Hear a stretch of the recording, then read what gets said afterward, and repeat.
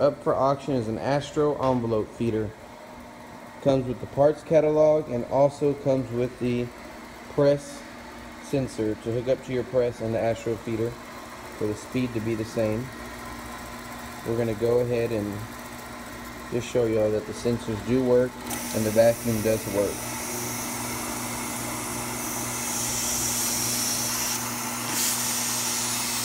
We'll turn up the vacuum.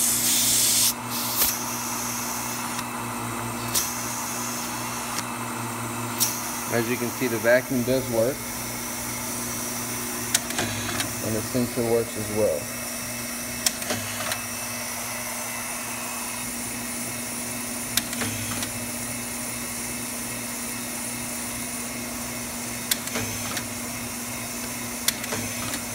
As you can see, everything does work on this machine. Here is your speed control.